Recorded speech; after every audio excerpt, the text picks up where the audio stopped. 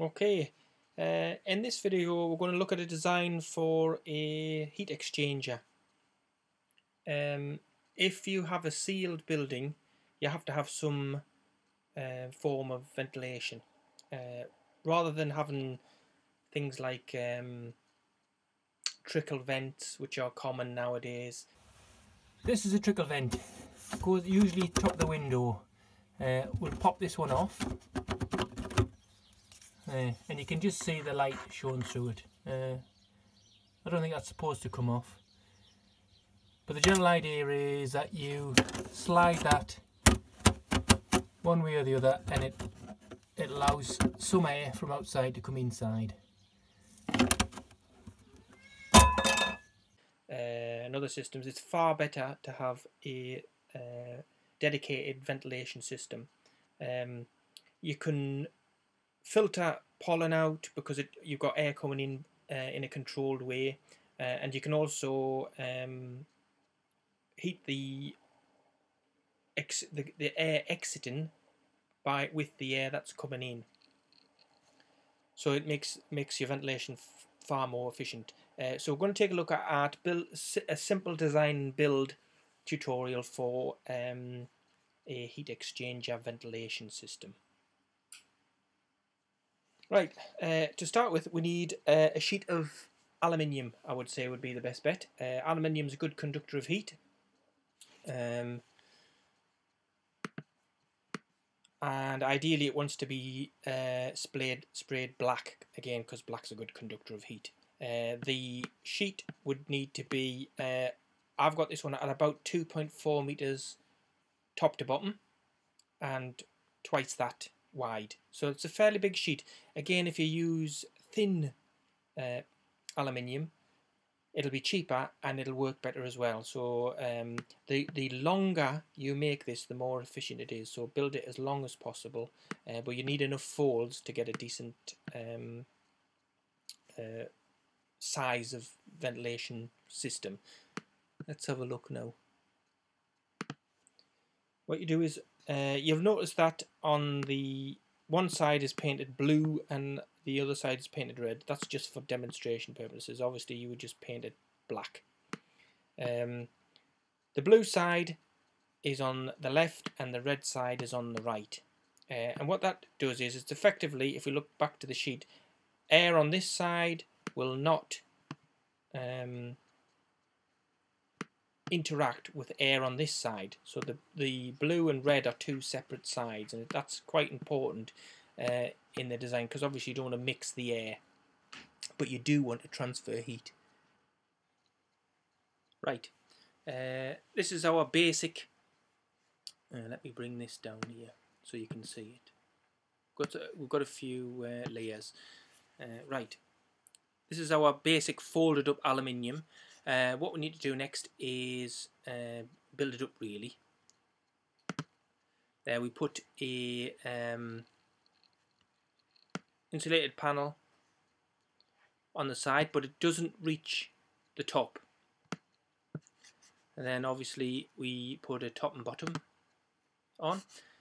Uh, now the bottom here, I might as well say this now, is this needs to, to be waterproof uh, the seal needs to be waterproof, so I would I would say um, putting a whole silicon base in that would be fine. And you need you're going to need some drainage holes that go outside, uh, because when the when the cold air hits the warm air um, coming in, or is it the other way? Warm air hits cold air. Yeah, it's the other way around. Uh, it'll condensate, and you'll get a lot of water forming in the bottom here. So you'll need um, drainage holes. Uh, next we'll stick some insulation on the ends. Uh, and this is all air sealed and, and uh, I would say uh, two insul insulation is absolutely fine for this. And then uh, we have some ducts. Let's, and that's pretty much your finished um, ventilation system. You can add, obviously you could put fans in, but this should work passively. Uh, let me show you the diagram. Uh, right, let's look from the uh, inside of the building.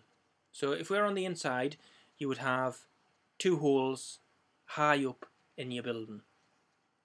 Uh, the this uh, ventilation unit could be located on the outside of the building or the inside of the building. It doesn't really make any difference. But if it's on the out, let's say it's on the outside, you would just duct uh, two holes into the building. One is the um, incoming air and one is the um, outgoing air. So obviously you'd probably want to duct these into different rooms because uh, if, if they're right beside each other, uh, you'll get air coming in and going straight back out again. So you want you want to put those in different locations, but you could do that from your ducting internally. On the outside, uh, you have two low um, holes. So air comes in the bottom uh, and it exits the bottom as well. So you have two low holes for the for your uh, on the outside of the building and two high holes on the inside. And what happens is, um, as the ex uh, exiting air goes out here, it, it goes down the uh, aluminium and it meets the cold air coming in from outside. Obviously, it this will cool it, and we all know that cold air drops, uh, so it'll naturally want to sink and then exit out of the bottom vent. Uh, uh, for the um, incoming air, it comes in the bottom vent, it meets the outward going warm air, gets warmed up, and then comes in uh, with the heat from the exit air in it.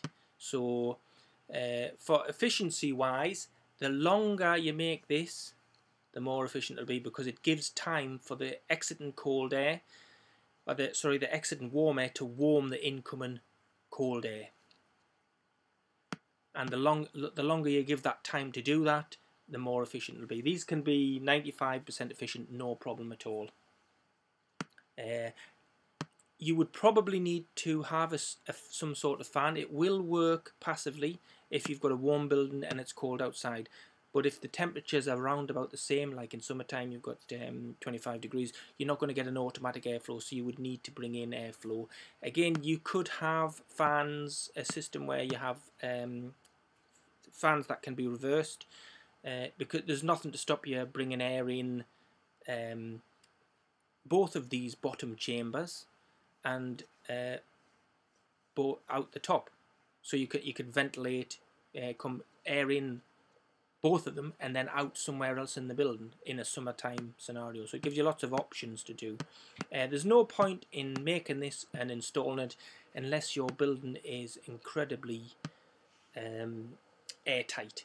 Uh, it, it's not going to benefit you if you have a leaking building. Uh, my dome's not that well insulated. And not it's well insulated, sorry, but it's not that um, airproof. I might try and improve that and then consider putting one of these in. Any ideas or comments, stick them in the comment section below. Uh, and I'll see you in the next one.